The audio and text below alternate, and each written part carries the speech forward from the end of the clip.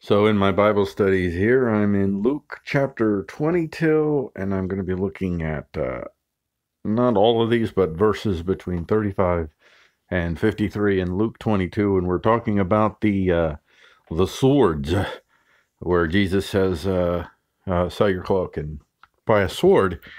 And uh, I wanted to speak on maybe a, a thought about that. So I'll start with uh, reading the verse here, and I, I want to give the caveat here that uh, I am not a Christian leader. I am a layperson dude. So uh, talking to fellow layperson dudes and, and ladies and whatever's that uh, about uh, basically my thoughts as I'm going through my Bible studies. And he said to them, this is starting uh, verse 35. And he said to them, When I sent you out with no money bag or knapsack or sandals, did you lack anything? And they said, Nothing. Now this this is this has always kind of blown me away, this whole section here, where you say I mean if you're if you if you have a sense of the historical reality that these well the if you if you understand our our the history of humanity, then you know that during this period of time, throughout most of human history until very recently, going out for a walk from one town to the next was it was an adventure. It was certainly a risk, and you didn't really want to go out unless you were prepared at least for certain things like finding yourself in the middle of nowhere with no access to food or water and no idea where you're at. that can happen easily. Uh, finding yourself overrun by bandits, no defense, no weapons, no nothing. And so Jesus sent out these, well, he sent out the 12 initially to go to the towns, and their instructions were to go to a town knock on doors, find someone that would invite you in, and if they invite you in, teach and minister to the town. And if nobody invites you in, then you dust off the, well, yeah, you dust off, you shake the dust off of your feet and your sandals, and you say, Woe to you, Bethsaida, Chorazin, whatever, you're a cursed town, and you leave. And you go out totally dependent on the kindness of strangers, but really you're totally dependent on the absolute supernatural mercy of God. That's where you're putting yourself in this position. You're putting yourself in a position supernatural mercy on God for, uh, uh, to to to take care of you because you've got nothing. You got none of the basic protections. You got no money to buy things, totally relying on the kindness of strangers. You got no food totally relying on the kindness of strangers. You don't even have sandals. You don't even have sandals. You have to rely on other people to give you sandals. And now that Christ is going to be leaving, now he says, But now let the one who has a money bag take it, likewise a knapsack. So now we're this this this speaks somewhat to the whole miracles thing and everybody wants to produce miracles because everybody wants to legitimize themselves as some holy, infallible prophet type of person, a apostolic prophet, whatever. And here you see he sent his disciples out, and surely they must have been delivered from their pains through multiple acts of uh, miraculous mercy at the very least. Uh, they, they lived off of miracles. They lived off of Christ delivering them from extraordinary circumstances that no sane human should ever put themselves in. And they did so because they asked God, and no, that's not actually, no, that's not it. They didn't do so because they asked God, they did so. They performed and experienced, were the recipients of and the doers of miracles, not because they willed it, but because it was part of the plan. It was part of the prophecy. So the prophecy is that uh, uh, I tell you that the scripture must be filled in, in, me, and he was numbered with the transgressors, and he was numbered with the transgressors. And well, first off, uh, but now let let the one who has a money bag taken, and likewise a knapsack, and let the one who has no sword sell his cloak and buy one. Now, now you must put yourselves the the the the the miracles. I'm not. I'm going to send you out now, and now I'm going to ask you to actually uh, be aware of your physical security position in the world and to take measures to a degree, and you'll see here that a degree is a very important note, to, to take care of your physical well being in the here and now upon this earth as you walk it, even as you're doing my will. I am asking you to, yeah, go ahead and do some planning. Go ahead and not consider that I will deliver you with a miracle. Rather, when you go out into the dark, dark world, take precautions. Take precautions in this dark, dark world to defend yourselves. And they said, Look, look, here are two swords. And he said to them, It is enough. Uh, so there was 12 disciples. He wasn't telling all 12 disciples to get 12 swords and form an army. Just basic defense basic security against the insecurity of the world, basic security against the insecurity of the world. I have my miracles come through my will, through my way, for my per. Um, this is Christ, not not literally speaking. I'm paraphrasing Christ, but uh, imagining. I'm, I think it's aligned with what Christ would say. I'm pretty sure. So this is this miracles are my way, my plan, my will I'm not a parlor trick. I am the Lord and I have a plan, and it, it doesn't include making you look like magicians. It doesn't it, it doesn't include that. Uh, not even my disciples. My very I'm talking to my disciples here, dudes. Well, Christ is talking to his disciples. He's talking to his disciples, and he's saying to his disciples, dudes, don't rely on me for for miracles. I'm not saying that you can't rely on him for miracles, but don't rely on him for miracles. They're both kind of true. But but essentially, don't rely on me on for miracles. Plan for being in this world. Plan for the security. Take provisions. Uh, have a knapsack. Have a money bag. Have swords. Defend yourselves. But then there is a context. And so then Jesus goes out and he's he's he he just got done demonstrating why are miracles happening in people's lives testify to the greatness and the glory of God to fulfill his prophecy to fulfill his purpose to fulfill his will but even Christ, even though he is the is, was, and always will be, he is the totality of God. He is still also the Christ of God and Christ in relationship with the Father. So Christ in relationship with the Father is here to serve the will of the Father even Christ, Christ, Christ certainly, when he prays to the Father for something that he wants, he has all the faith, all the faith, all the faith to make it happen. If it's only dependent upon faith for miracles, Christ, all he has to do is say, Father, remove this cup from me and it will be removed. Well, no. No, he would never say that because he is Christ and he is God and he's the totality of God, yet he is only Christ. All these things.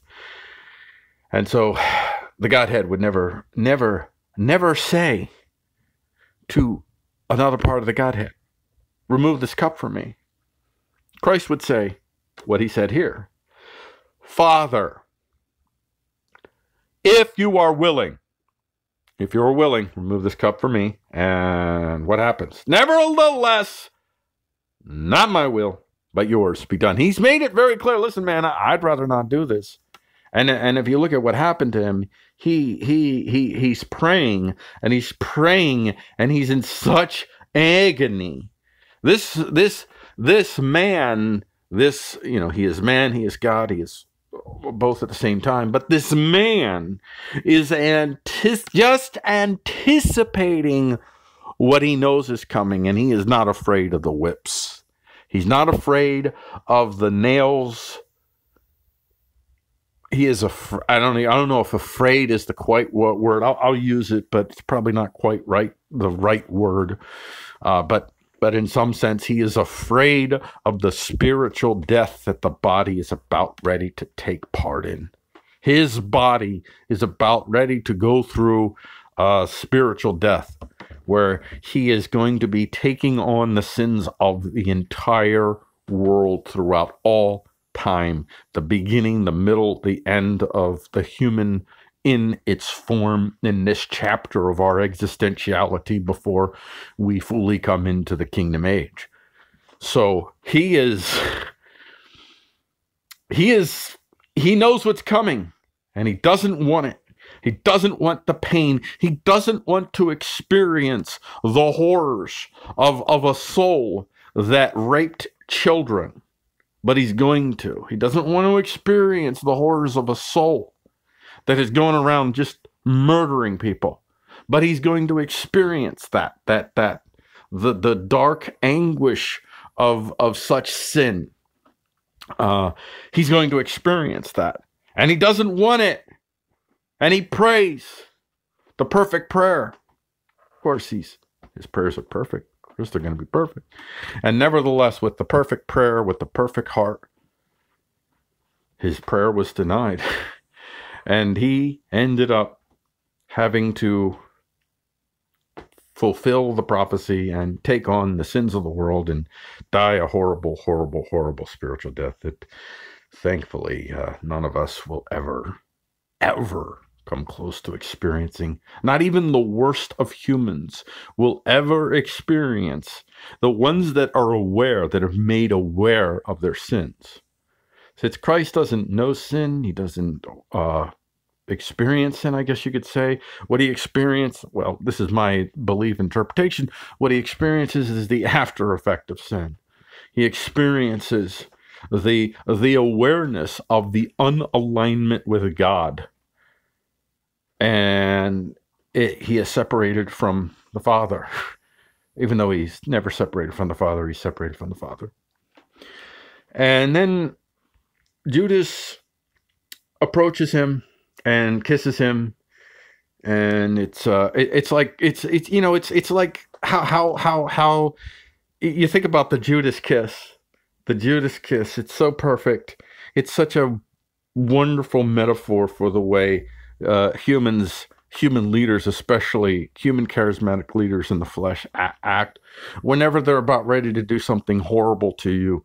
They they put it in the guise of something that sounds and looks incredibly friendly, like a kiss that it leads to Christ's arrest and execution, uh, like. Uh, uh, affordable health care that drives up the cost of uh, health care for everyone except for the insurance companies because it turns out to just be a, a Ponzi scheme of sorts for, well, not literally a Ponzi scheme, but in the, the, the spirit of a Ponzi scheme. It's a, it's a scam of sorts uh, for, for, the, for, the insurance, uh, for the insurance companies. And here is the Son of Man being betrayed like like like so many righteous are betrayed with the uh, the the outward appearance of kindness that is uh, cloaked in uh, a wicked uh, wicked danger. Uh, but what happens here is one of his disciples, and we are led to believe for other reasons, probably. Uh, I mean, I don't know if this is uh maybe John. I forget. Maybe it's John that did this. One of them struck the servant of the high priest and cut off his right ear, but Jesus said, No more of this. He touched his ear and him. Now he just got done telling them, dudes, listen, I'm not your security service anymore. You're going to have to provide your own security from here on out. I'm not going to do it. When you walk out into the desert, don't walk out naked because I'm not going to deliver miracles to protect you. Walk out I mean, maybe he will, but I mean, in general, I'm not going to deliver miracles to protect you. You take a sword with you. You take uh, food and provisions and plan and design and, you know, do what you got to do to deal with the physical reality of a world that literally wants to kill you. And yet, when right after he says this, right after he says this, right after he says, Get your swords. I, I understand why one of the disciples would be like, Well, I mean, he said, Get a sword. This, they're attacking us. And this is, uh, this is what's the hard, the hard, even for me is, uh, well, definitely even for me. Not, I don't know why I said even for me. I'm no one special. I'm, no, uh, but but definitely for me because I'm one of these. Uh, it is difficult for me to wrap my head around what I think this this this challenge for the Christian is. We go out into the world with our swords and our knives and our guns and our knapsacks and all that. We got all that stuff. Nothing wrong with all that stuff. And we go out, and if somebody wants to uh, steal our stuff, we can protect ourselves. If somebody wants to kill us, we can protect ourselves. But when the state approaches Christ to arrest him for being Christ, Christ is not interested in fighting the state. Rather, he seems to be more interested in, in basically allowing the state to show the world who and what it really is. It's a murderer at heart. And let them see that.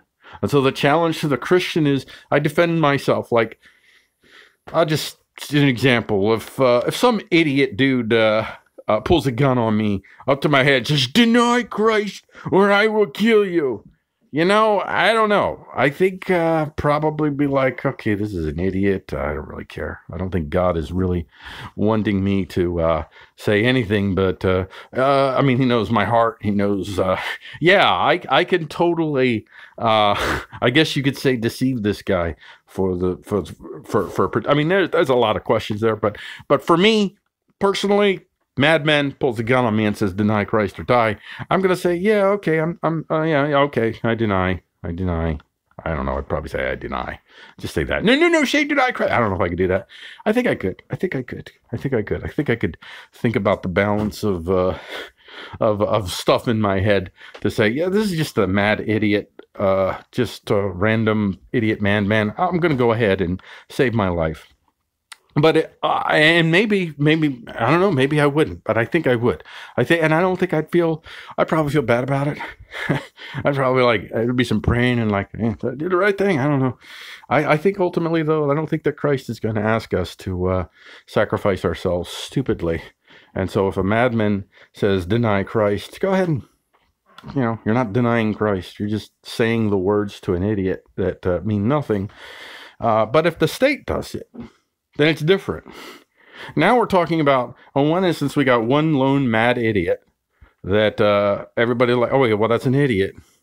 But then if uh, if the state comes after you, if the state says, I make it criminal for you to follow Christ and have this teaching or this way or whatever, now when the gun comes and they say deny Christ or die, at that point that's different. Now now we're now we're in another realm. We're in a realm where uh, the state is is is claiming authority over god. I mean to a certain extent the madman's claiming authority over god. Anybody that wants you to deny christ is trying to claim authority over god in a manner of speaking but a madman claiming authority over god is laughable. The state claiming authority over god if you are a Christian, I would say the witness is to die, is to say no, and they pull the trigger and you die. And that's about the only choice that we have. And that's hard. That's a hard thought for me to have because my tendency is to want to fight. Now, if the state shows up and they want to take my guns, I think I might fight them over that. I might. I don't know. Not that I have guns, but if I did, uh, I might fight them over that. But if the state shows up and tries to uh, deny get me to deny Christ in one way, I don't think that I could physically fight them. I am not going to fight them with the physical principalities. I am going to fight them with the spiritual principalities. You know, God willing, if the Holy Spirit uh, gives me the strength I need. Even Christ needed the Holy Spirit for, well, in this case, an angel gave him some strength. So even Christ, uh, in, in, you know, the the the, the, the flesh part of Christ. Uh, I don't understand the mystery of all that, but uh, that that part of Christ needed need, needed needed sustenance from from an angel. So uh, I would need that. I would definitely need some sort of supernatural intervention to give me the strength to uh, face death. God willing, I would. And Ideally, I would, because now we're talking about being a witness that when you submit to the state and others see you you are den- you are you are now now you really are denying. This isn't this isn't a word game. This isn't an obfuscation uh, to protect yourself whatever it might be. This is basically endorsing the authority of the state over Christ. And not even Christ would do that even though Christ had all the power to blot this state out from existence with with with not even a sigh he doesn't even have to have a sigh. He doesn't have to move his hands. He he he is a there is a there is a flutter of a thought and the whole world evaporates. So that's the power that he has within him at this moment in time. And he submits himself. And not only does he submit himself, but he rights the wrong. The wrong. The wrong is is that uh, in my opinion, in my view, the wrong is uh, in in fighting with physical principalities and in physical principality ways uh spiritual battles.